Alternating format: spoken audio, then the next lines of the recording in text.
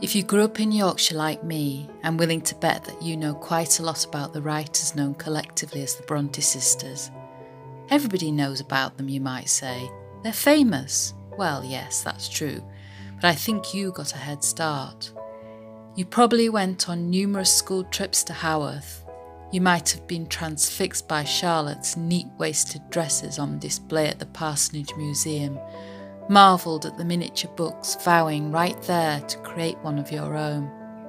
And if you were really curious, you might have delved deeper into their family background. The year is 1820. Patrick Bronte, Irishman, newly employed as perpetual curate, brings his Cornish wife, Maria Branwell, and six children Maria, Elizabeth, Charlotte, Branwell, Emily, and Anne to live at the parsonage in Haworth. Sadly, it isn't long before tragedy strikes, cancer claiming the life of Maria Branwell in 1821. With no mother for his children, Patrick Bronte arranges for his four eldest daughters to attend the clergy daughters' school at Cowan Bridge. It is 1824. He thinks it is a good school, but it is not, as he will soon learn.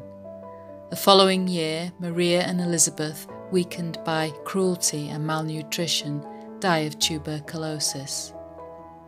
The loss of their mother and older sisters has a profound effect on the remaining four children. Charlotte, Branwell, Emily, and Anne draw closer together, their experiences of loss imprinting darkly on their developing minds. Imagine the four of them gathered together around the dining room table, studying and exchanging ideas.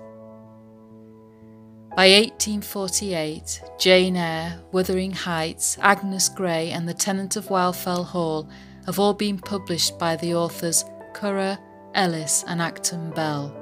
The clue is in their initials. Although they don't know it, they have between them created some of the greatest, most startling works of fiction the world will ever know. So, how does one family produce not one but three literary heavyweights?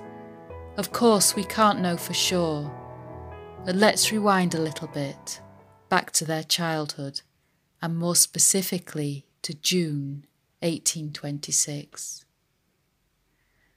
Patrick Bronte returns from Leeds with a box of 12 wooden soldiers a present for Branwell. Charlotte writes in her diary about their arrival. Papa came home. It was night and we were in bed. So next morning, Branwell came to our door with a box of soldiers. Emily and I jumped out of bed, and I snatched up one and exclaimed, This is the Duke of Wellington. This shall be the Duke. When I'd said this, Emily likewise took one up and said it should be hers. When Anne came down, she said one should be hers. Mine was the prettiest of the whole, and the tallest, and the most perfect in every part. Emily's was a grave looking fellow, and we called him Gravy. Anne's was a queer little thing, much like herself, and we called him Waiting Boy. Branwell chose his, and called him Bonaparte. We are witnessing the birth of the Glasstown Federation, a fictitious world based in Africa in which they each have their own kingdom. The children invent stories, acted out with the toy soldiers to begin with, and later documented in a series of magazines, poems, short stories, and novelettes. Many of these manuscripts still survive today, so we know quite a lot about what is happening in Glasstown. Remember those miniature books? They have been especially created by the children for their toy soldiers to read, and perhaps also as a way of hiding this fantastical world from short sighted adults. All is not well with the Federation, though. Already, Emily and Anne have renamed their soldiers Sir William Edward Parry and Sir James Clark Ross, Arctic explorers, and clearly not all that impressed with what's going on in Glasstown. They dream of the far north. Remember this, for it is a seed of what is to come. With a preferred diet of roast beef and Yorkshire pudding, followed by apple pie and preserves, Ross and Parry will not be residing in Africa for very long. In January 1831, Charlotte leaves Haworth to study at Roe Head School in Mirfield.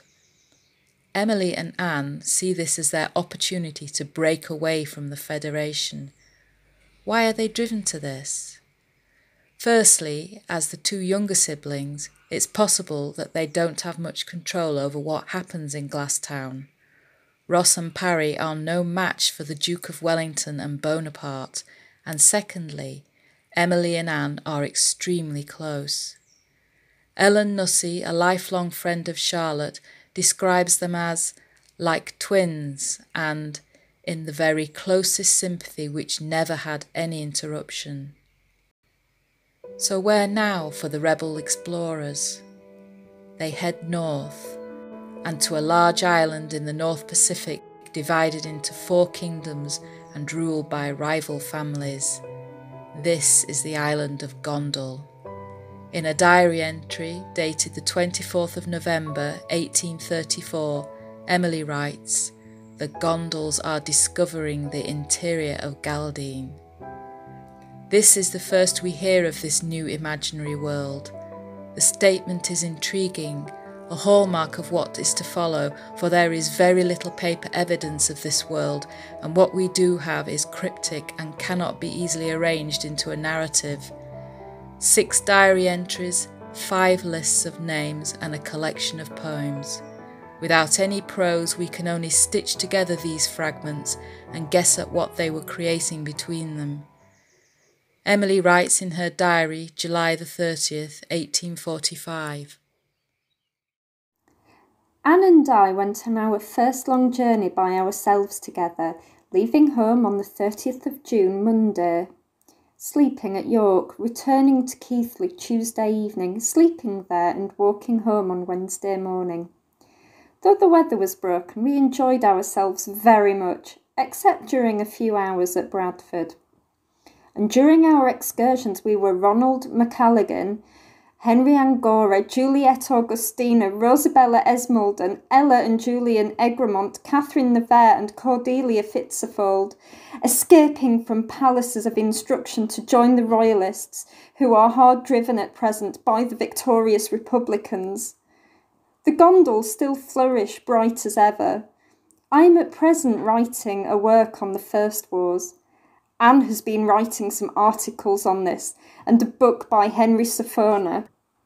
We intend sticking firm by the rascals as long as they delight us, which I'm glad to say they do at present. It is possible that Gondal was acted out more than it was documented, that it was essentially a private game between the two of them. So, what have they allowed us to see? The poems describe a landscape of moorland and heather, ferns and bluebells, snowy mountains and icy winter winds, not unlike the landscape beyond their own windows.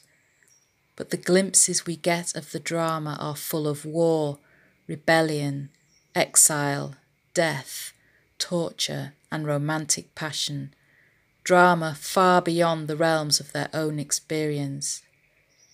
It is thought in some circles that Gondal is an early version of Wuthering Heights, something that would be impossible to confirm, but it is easy to draw comparisons between the two and perhaps conclude that its characters and drama preoccupied Emily deeply and into adulthood. But what about Anne? There is evidence that she very much followed Emily's lead when it came to their joint adventure. Listen to her diary entry dated July the 31st, 1845. Emily is engaged in writing the Emperor Julius's life. She's read some of it and I want very much to hear the rest. She's writing some poetry too. I wonder what it's about. I've begun the third of passages in the life of an individual. I wish I'd finished it. This afternoon I began to set about making my grey figured silk frock that was dyed at Keighley. What sort of a hand shall I make of it? E and I have a great deal of work to do. When shall we sensibly diminish it? I want to get into the habit of early rising. Shall I succeed? We've not yet finished our Gondal Chronicles that we began three years and a half ago. When will it be done? The Gondals are at present in a sad state. The Republicans are uppermost, but the Royalists are not quite overcome. The young sovereigns, with their brothers and sisters, are still at the Palace of Instruction. The Unique Society, about half a year ago, were wrecked on a desert island as they were returning from Gaaldine. They are still there, but we've not yet played with them much yet. It seems that Anne's involvement is never as all consuming as Emily's. Her Gondal poems, of which there are comparatively few, are written only when she is living at home with Emily, and, unlike her sister, there is little evidence that she drew on the fantasy world to create her own fiction. As she matures as a person and a writer, she appears to move away from Gondal. Her female protagonists, Agnes Grey and Helen Graham, are very much women of the real world, with all its suffering and dilemmas. She deliberately distinguishes between what is fantasy and what is her own experience of life. It is summer 1848. The sisters are young, newly published authors. Literary success seems almost certain. How cruel then that tragedy strikes the family once again. Within the next 10 months, three of the siblings will have succumbed to tuberculosis. Branwell first on the 24th of September, then Emily on December the 19th. By January, Anne is also ill. She persuades Charlotte to accompany her on a visit to Scarborough, where she hopes the sea air will return her to health. She dies on the 28th of May, 1849. Charlotte decides to let the flower lie where it has fallen, and has her buried in St Mary's churchyard, beneath the castle walls, overlooking the bay. And now there will be no more Gondal. The two sisters have taken their imaginary world with them to the grave. What is left for us will always be just out of reach, and perhaps all the more mesmerising for it.